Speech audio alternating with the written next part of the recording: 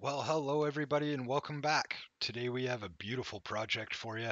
This thing's been painted a lovely shade of green as you can see right there.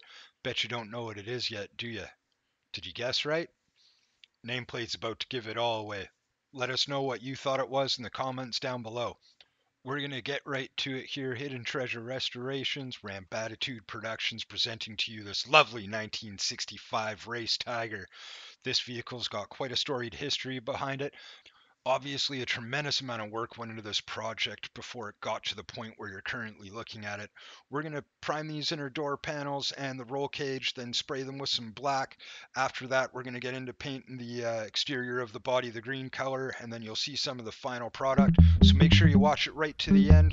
Make sure you like, share, and subscribe the heck out of this video. Thank you guys all for watching. We really appreciate it, and I hope you have yourselves a wonderful day.